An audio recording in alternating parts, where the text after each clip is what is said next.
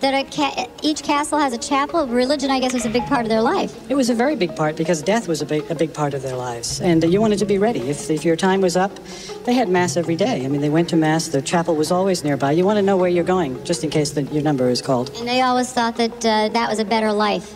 Death. Well, it was a tough life during those days living here.